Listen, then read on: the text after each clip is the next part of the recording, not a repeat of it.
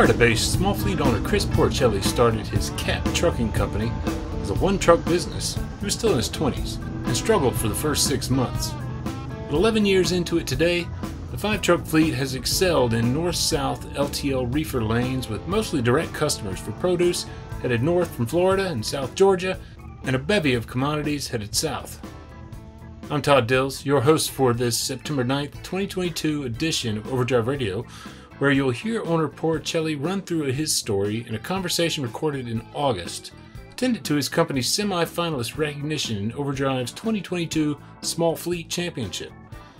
CAP, CAP Trucking, is uh, one of five semifinalists in the 3 to 10 truck category for the program this year, with five more contenders also in the 11 to 30 truck category.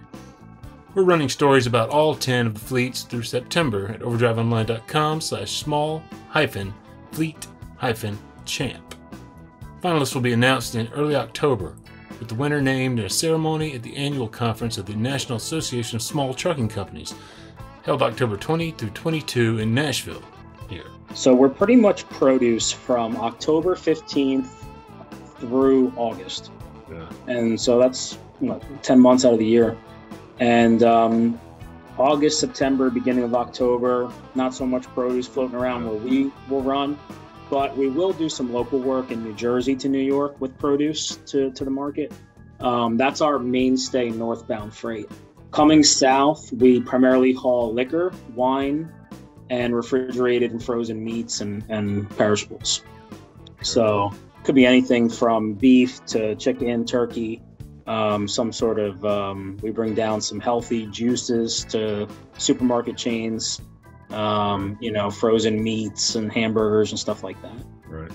that's our that's our, our main haul coming south is the the frozen and fresh ltl Chris Porricelli's clearly got an acumen for all the planning and thinking that goes into consolidation of LTL loads, and his family's lineage extends back four generations in the wholesale produce business at Hunts Point Market, New York City, where he cut his teeth as a night receiving foreman in the family produce business before venturing into over the road trucking in the early part of the last decade. Getting to where he is today was in no way an easy path for the young man, though and recent years have presented the trifecta of difficulties with a stolen truck, i'm thinking it got impounded. You know i'm thinking like it got towed because they saw it at a, at a hotel. And i said well, well everything's gone. He says no the trailer's still here. The truck's gone and he said he says chris the gps is on the grass. I just i just found it. An expensive brush with scam artists, it was the first time in 10 years that i got beat for money from a customer. And a feeling of just being overworked that led him to stark choices that have allowed the business to reemerge all the better for it. scaled back i wound up dissolving the brokerage recently taking on some of that freight ourselves direct and just basically giving out whatever i couldn't handle We'll dive into Cap Trucking's history all the way back from the beginning with Chris Porricelli himself after this quick message from Overdrive Radio's sponsor. Where do the greats of the trucking industry belong? In the Howes Hall of Fame. Do you know a person, place, or organization that deserves to be recognized for their outstanding work? Nominate them today. Howes, makers of the nation's top diesel additives for over 100 years, has been adding amazing inductees into its new digital Hall of Fame, and now they want to hear from you. Become a part of the fun and excitement by submitting your nomination when you visit the Howes Hall of Fame at howesproducts.com. That's Howes, H O W E S, howesproducts.com. And I'll say the virtual Howes Hall of Fame is truly something to behold. Among members are longtime truck drivers and owners, trucking radio personalities like Red Eye Radio's Eric Harley, plenty more. I know they'd appreciate your nomination. Okay, here's Cap Trucking owner, Chris Porricelli, taking us back to the beginning. I was born in New Jersey and uh, actually worked in the Hunts Point Produce Market in New York before getting into this. Uh, so my father, it's uh, third generation with him, fourth with me. It's a wholesale produce company. So that's how I got into logistics. Uh, we used to receive in trucks all night long with fresh produce and then deliver it to restaurants, supermarkets, chains, etc. in the New York City area. I was a receiving foreman there. Yeah, it was night shift. I used to start at 5:30 p.m. at night, and I used to work till about four o'clock in the morning, sleep, and do it all over again. Sunday, Yeah. through Thursday night. Very long hours. Business is still going on. My dad's still still running it. That would be Ciro Porricelli, third generation leader of the Jerry Porricelli Produce Company. Yeah, he's he's a, he's a customer Yeah. seven months out of the year with with produce. So I was working for my dad, and I was doing some local runs for a friend of mine at the time, and I think I wanted something a little bit more than just working nights in New York City, and um, so I'd asked my dad for some more management positions uh, that were open with him. And he basically said I was too young and he wanted somebody Mhm. older in there and all that and kind of pushed me away. So I started, I wanted to buy a house, and everything in New Jersey at the time and still was Yeah. very expensive. So I said, you know what? I said, I'm going to reverse this. I'm going to keep renting because I had a real cheap place in, in North Jersey, and I bought a house in Florida. And I Okay. said, I got it for a good price, and I'm either going to rent it out or it'll just be a vacation home, but I can't really touch anything in Jersey right now for what I want to spend. So Right. fast forward about a year after I bought the house in Florida, I wasn't really getting anywhere in New York with either a raise or a new position. So I went for my CDLA, I got it, and I had some money saved up. So I said, I'm going to go buy something. So I bought a used truck out of uh, Atlanta, and I bought a used trailer that was involved in a rollover accident that I fixed. And I started trucking. It was a disaster for six months it was a disaster and i thought i was going to be driving back to new york one of those times to just start working there again and um, little by little it started coming around and um, was able to get into a new truck after a couple of years and that really turned things around little by little i got up to um, seven trucks at one point and scaled back just a little bit and five seemed to be the magical number and Okay. then uh, I'll trip lease some guys in the wintertime when it's busy for us, and they'll either rent a trailer or just trip lease with their own. And um, that that seems to be the the sweet spot for us right now. Okay. So you know, I know guys that have tried to get me to add more trucks to the fleet, but I I I don't I don't believe in uh, Yeah. quantity over quality in my Sure. instance at least.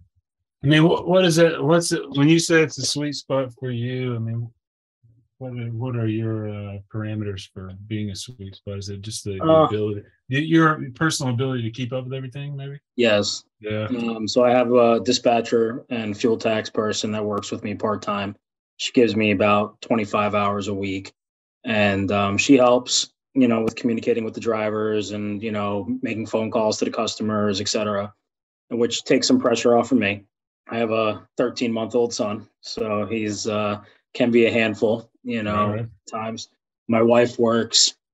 So, you know, he goes to daycare a few days a week. He stays home with us a few days a week try and split it everything up.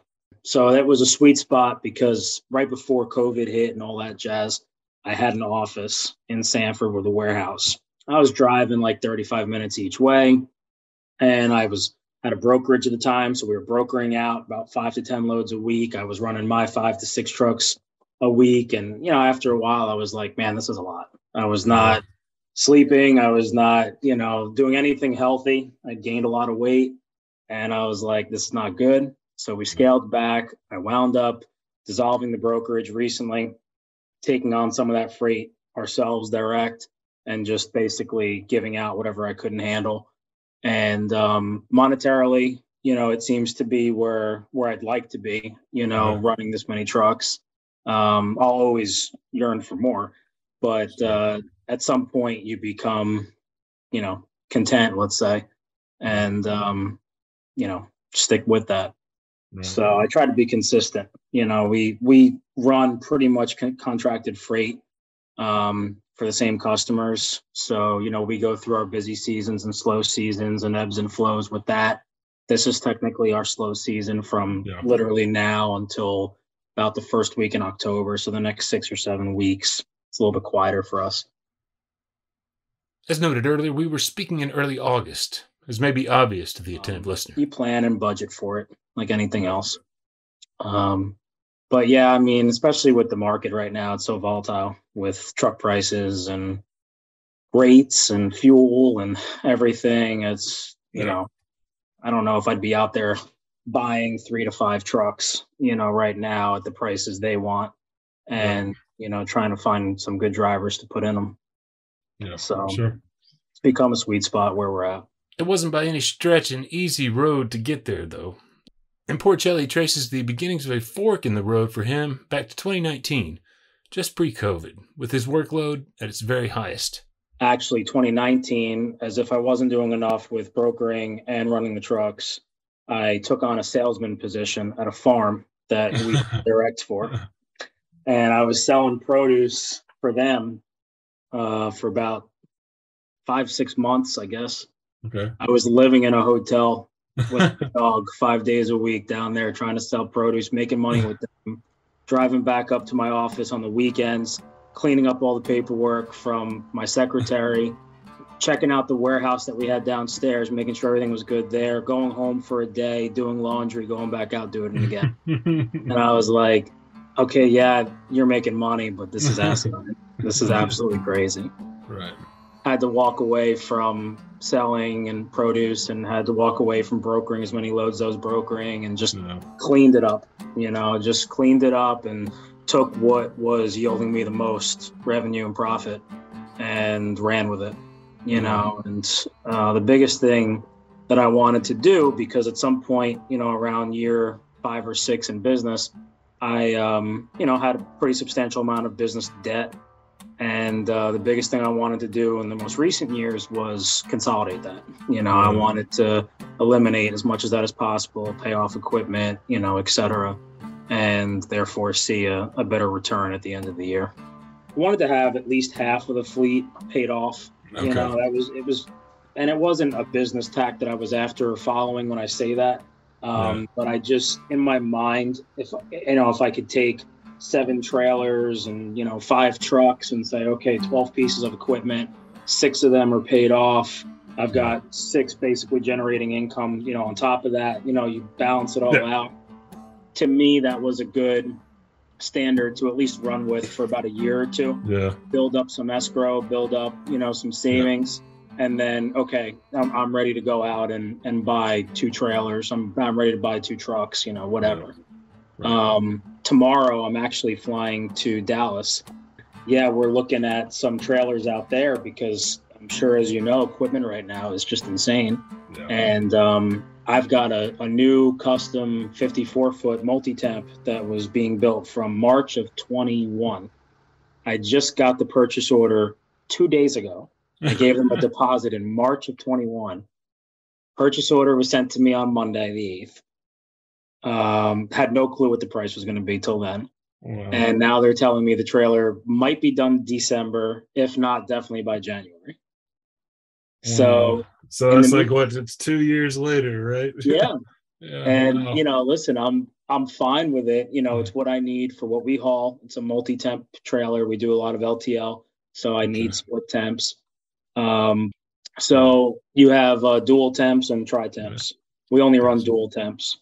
Um so some of our trailers are single temps but we don't we don't go up to tri temps was what i meant Gotcha. um the way that works is you can haul something frozen and something fresh yeah. Okay. so we do a lot of that with our LTL consolidation, where we'll have dry freight and we'll have refrigerated freight.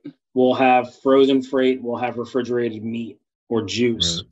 So take a 53 foot trailer, you can pretty much split it up however you want and bulkhead it. And you've Yeah. got your zone one and your zone two, and everything gets monitored. The biggest thing I did about two years ago was convert all the trailers over to tracking. And now I can monitor all the temperatures of all the trailers and how fast they're going and when they need fuel and all that stuff. I mean, you name it, it tells you what the trailer's doing. And um, that has been a, a huge help because sometimes I'm able to tell a driver there's a problem before he even knows. You know, Right, he could be on the road on the phone talking to his wife, and I get a code texted to me. Right. I call him up, hey, you got a problem. He can pull over before he even, you know, knew there was an issue. Does the driver have the opportunity to get those um, those alerts too, though I imagine. Yeah, Just might not see them if they're on the road. yeah. Uh, Thermo King is the the holder Yeah. of the um the program. It's called TracKing. So Okay. track and then capital K like Thermo King. Yeah. yeah. Um, it's uh, you can use it. You can utilize it on on online. You can Yeah. download an app to your phone, and when you set up the alerts as the owner or dispatcher, what have you, you can set it up to email or text specific people. Yeah. So because my, some of my guys drop in hook trailers, you know, it wouldn't be fair to just sign them up for all these alerts. Yeah. Well, I've got one driver that pretty much pulls the same trailer. So for him, I let him just get the alerts. But um, you know, for the most part, it comes directly to my dispatcher and myself. Yeah. And if she's working, she'll grab it. If not, I'll grab it. And um, that's that's how that works. The one of the biggest reasons why I went with it was because, and we don't get claims a lot, but when we did, you'd have to drive to Thermo King to get a download to prove where your set point was and what your return air was for the load. And number one, you've got driver time, fuel, truck wear and tear. You get to Thermo King, you have to wait for them to plug in and print it out, email it to you. They charge you about 160 bucks, give or take. Half the time, if you're in the right, the customer will reimburse you the 160 bucks, but I can't bill them an extra 200 bucks for my driver's time and and fuel. Right. So um, this program, which costs me, I mean, a fraction of that per trailer, it's like, I don't know, $30 a trailer per month, let's say. I'm able to get a download whenever I want, any trailer, inclusive of, of the program. So it saves me and the drivers a ton of expenses. It was it was a no brainer to to make that. And there's multiple platforms that offer this service now. Yeah. Carrier has theirs, Thermo King has theirs. There's a third party company called iBright, not cheap, but very thorough. Tells you when the doors are open on the trailer, when they're closed, which really helps if you're sitting at a loading dock, you know, for 10 hours. You know, you can prove, hey, my doors were open for 10 hours. Your product might be warm, you know. There's a lot of cool, there's some cool features with this stuff now that can really help protect the trucker. That I, you know, I think if you are willing to spend the money, which it's not a lot, it's it's a big investment in the long term. As I intimated up top, Cap Trucking owner Chris Porricelli has been investing in that long term more and more of late, with some big shifts in the business last year that, some ways, hinge on the story of his at the time flagship rig. A beauty of a 2015 custom Pete 389 glider he dedicated to his grandfather, Angelo Porricelli, who passed on around the time of the purchase of the rig in 2016. So I drove that truck for the first two or three years that I had it, and um, hired a driver. Still with me now. Uh, he's been with me about five or six years. Um, was in the Marines. He, um, you know, a little bit younger than me. He uh, came out of the Marines. He was working for a company in North Florida, and you know, we met up one night at a truck stop, started talking, etc. I said, "Yeah, I'm starting to, you know, hire drivers and this and that." Right. trying to find the right person to drive this truck, etc. So um, anyway, I wound up hiring him. Um, fast forward, however many years it was, um, three, I would assume four. Um, he would take the truck home sometimes. He lived outside of Jacksonville, and um, he was under a load. He had a brand new trailer, stainless steel, 53 foot utility trailer Wow. Yeah. Beautiful one, right? with a, a load of frozen bread inside. Um, the thing was, the load had to pick up on a Friday, but it didn't deliver till a Monday. And where he was loading to where he lives, I said, look, it would make a lot more sense if you just took the truck with you. Because at Yeah. the time we were parking at this hotel, we knew the manager, etc. So it was real quiet.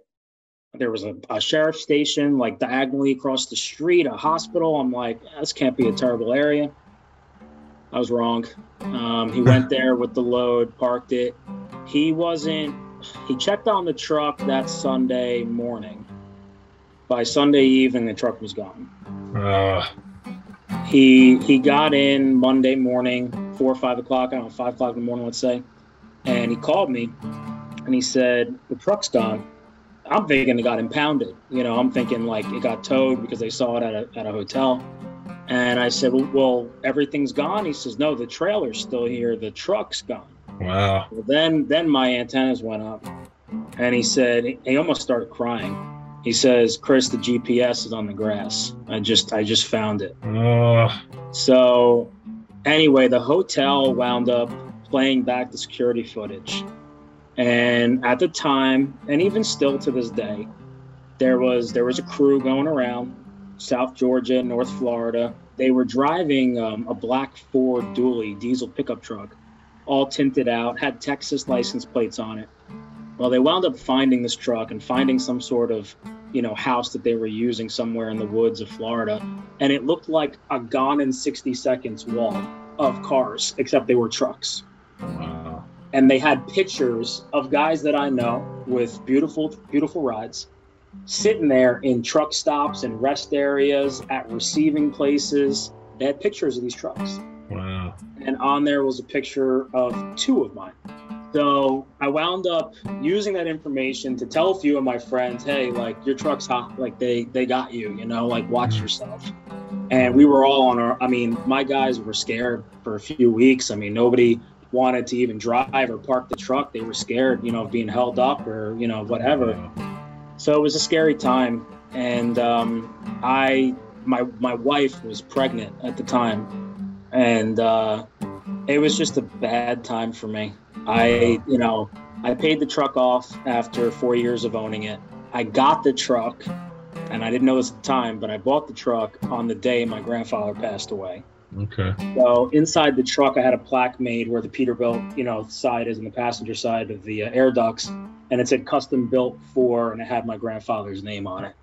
And um, I did that first run up to New York myself, and uh, my dad told me that he had passed away in the hospital when I got there. Oh man. I got the truck, so I was like, man, you know, truck had a lot of sentimental value to me Yeah. uh, goes without say. Uh, we had put it in a few truck shows down here in Florida. I Yeah. had you know, put a lot of time and effort into it. Um, you know, the driver kept it clean. It was, you know, everybody knew me, knew that truck. Um, never recovered. Insurance offered me an insult of an offer on it. I said, uh, you can keep your claim. Um, I'm not going to even put that on my record for three years and be penalized for it because it's not going to buy the truck back. It wasn't even close to buying the truck back. Um, I was a mess though. I I rode around on my motorcycle and my pickup. I probably covered every square inch of Florida in a few days. I mean, looking all over. And Wow. I even had two people try and blackmail me for five hundred or a thousand dollars. Fast forward a few months, saying they knew where the truck was. It was in Georgia. It was in the woods. It was this. It was that. We sent cops up there. I had a private Right. investigator. I mean, we did the whole nine yards, and it it never turned up. But in my mind, I'm thinking it's a pretty unique color. It was called Yeah. diamond white metallic. It wasn't a super popular color for Peterbilt for the year Yeah. and you'll see it. It's kind of like a cream colored. You know, you'll see them out there, but there's not a ton of them. It's not a pearl white. And Yeah. um, you know, it, it just it really what caught me by surprise was they left the trailer. I mean, Yeah. every bit of a ninety thousand dollar trailer. Trailers are a lot easier to get rid of than trucks in the theft industry. So Right. it's like you left that, but you took the truck, you know, and, Yeah. and it just fast forward now I have totally hidden GPSs in the trucks, GPSs Yeah. in the trailers. I even spent God probably five or six thousand installing these um these chip keys. I don't think I have one on me handy right now, but there are these additional keys that have to go in the truck in addition to the the actual ignition key. And it actually, if that key is not in, the fuel pump and the starter will not turn on. So if somebody tries to hotwire it, it's not going to work. If somebody has a spare key made because they steal the VIN, it's not going to work. So, yeah, I had to. I, I was so paranoid, and probably would be a liar if I didn't say I still am now. right. I did it to all my personal vehicles. I, you know, I had a brand new pickup. My wife was driving a relatively new Jeep. I had them done. You know, I mean, every single vehicle that had my name in it, the guy came and he did it. Right. And um, I almost, and I mean, pretty close. I almost walked away from this business after that truck got stolen. I just didn't have it in me. It sounds like that is also involved with your rethinking of uh, you know the size of the business and absolutely consolidation of everything. That all kind of happened around the same. Absolutely. Moment. Yeah. Yeah. Yeah. It, it's it's hard to to have the energy to go out there and I mean this trip that I'm taking tomorrow is probably the first well it's probably the third time if I'm going to be technical but in the last two years you know that I've really ventured out and been like okay I'm going to go look at some equipment. Yeah. I used to go all the time you know I mean all the time I I'd be Wow. driving my truck down the road because you know I used to drive full time up until just a few years ago. Yep. I'd be driving a truck down the road. I'd see a dealership with something. I'd, I'd pull over and just kick tires and look, just to figure out what things were going for. You know what the values were of stuff. Last year, I wound up buying uh, two used trucks. I had I had to drive to Iowa to get one. I flew to Pittsburgh to look at another, and then I wound up buying another one in Mississippi at the truck market. And you know, I, I wound up using them for a little bit, and then I'll fix them up, and then I'll flip them and make some money, and then replace them with something else.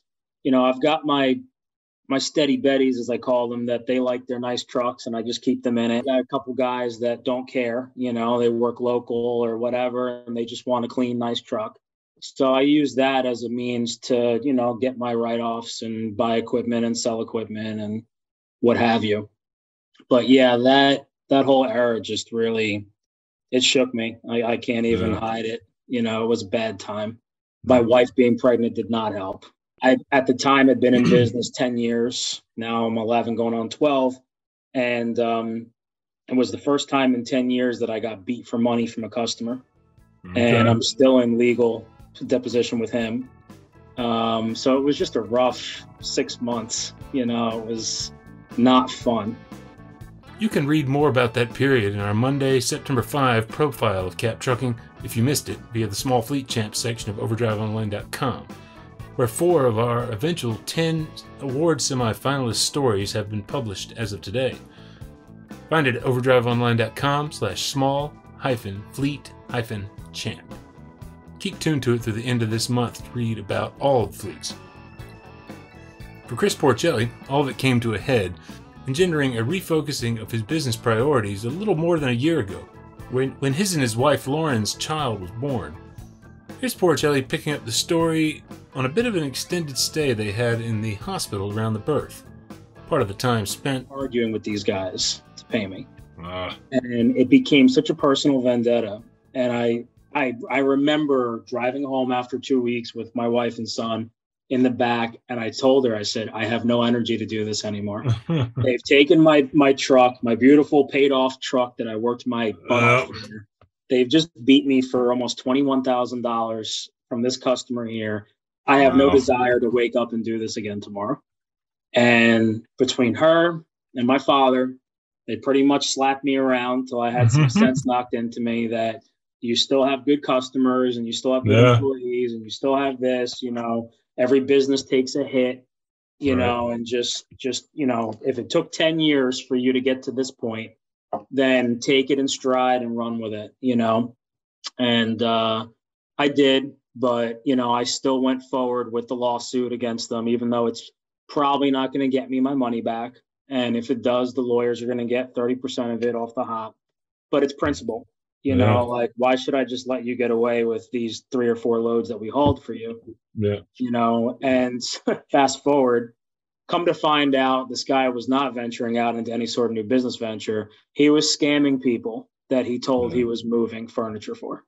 I have this problem where when people piss me off, I just work really, really hard. so we wound up moving a lot of freight last year. yeah. And um, um, yeah, we had a great year last year. Of course, a lot of things were inflated. So, you know, by the time you factor in fuel surcharge and all that, your numbers are up, but your expenses were up, you know? Yeah. So it's like if you take my consistent 1.6 to 1.8 million dollar years and then add in an additional, let's say 100, 200,000 in fuel, and then add on fuel surcharge on top of that. Now you get a 2.1 to 2.3 million dollar year. Did you really knock it out of the park? You know, you might have made a little bit extra money, you know, Yeah. but your expenses were up. You know, I mean, that's yep. really what it came down to. If you can stay consistent, though, if you can match what, what your expenses are and beat it, then yeah, I guess yeah. I guess you're doing well. You know, so do you end up um, working with brokers on the way back uh, for a lot of the guys that are come going out? Or I actually was thinking about this because I was trying to trying to figure it out. About fifteen percent, upwards, no more than twenty percent of my work is through brokers. Okay. Everything else is direct. Gotcha. So yeah, like this time of year, I'm dealing with brokers more frequently right. to get out of Florida, get out of Georgia, head yep. north. But almost all our freight coming back down is direct. And seven to eight months out of the year, I'll say eight, all of our freight leaving Florida is direct. So for that three to four month period of time where we're looking for loads one way, yeah. that's my broker freight. So it, it accounts for no more than 20%. Right. Um, and it's very difficult to deal with brokers nowadays. It amazes me that with fuel at the price it's at and expenses at where they're at, tires, brakes, etc., how they're getting away with these rates. Right. Thankfully, most of our stuff is dedicated freight that pays very consistent and or fuel surcharge gets applied, you know, correctly. So at the end of the day, I'm, we're not sweating it too much, but we still have a minimum we need to meet, you know, one way. Right. And it's amazing to me what these people want to pay. I mean, I, right. I don't know how trucking companies that only deal with the load boards are making it. I noticed that you said that you were um, you were going to move into an S corp uh, yes. type structure. Yes. Um, what prompted that? Uh, taxes. Yeah. Um, you know, basically right now and for the last 10 and a half years, whatever it's been, um, you know, I've been filing under a 1040S. Um, I'm W 2 to my LLC, but at the end of the day, I'm still a, a single member. So you're basically just a sole proprietor yeah. at the end of the day. Um, you know, with all the assets that I have, and I don't really know like when I surpassed it, but at some point, I guess when you've got a fair amount of, of trucks or trailers, whatever their worth is, let's say, um, it becomes more beneficial if you're an S corp to them. Yeah. So um, my accountant actually wanted me to switch over back in 2020, I think. Uh, it's been about two years to three years. He's been bugging me to do it.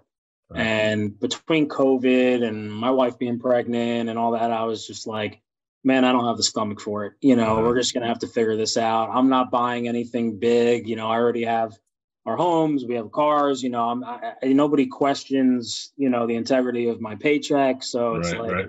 I'm not rushing for this, but I do understand the tax benefit. So we officially formed the company in May. So as we speak right now, Porricelli Trucking DBA Cap Trucking is open. Um, not a dollar has been passed through it yet.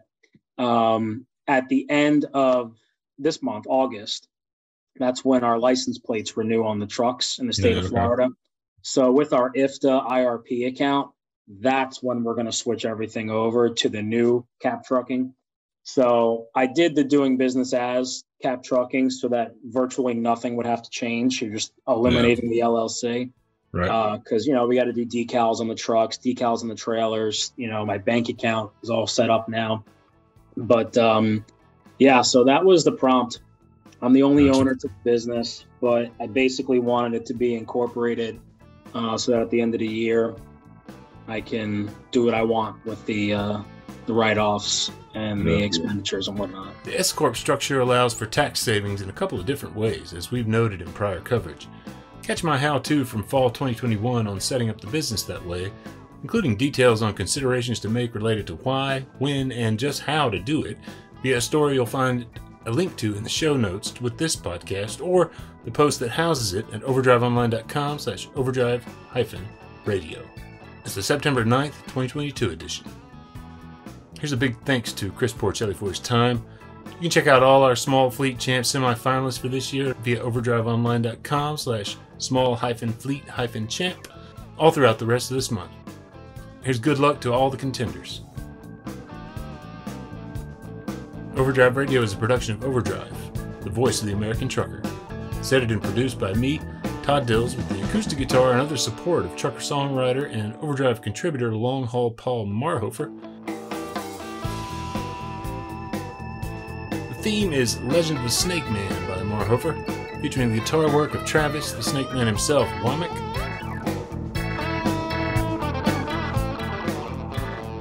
Terry Two Socks Richardson on bass, keys by Tishomingo Jim Whitehead, and on drums, Mr. Andrew Marshall. The podcast is backed up further by Overdrive's own news editor Matt Cole, social media coordinator Holly Young, and executive editor Alex Locke. Until next time, keep it broad.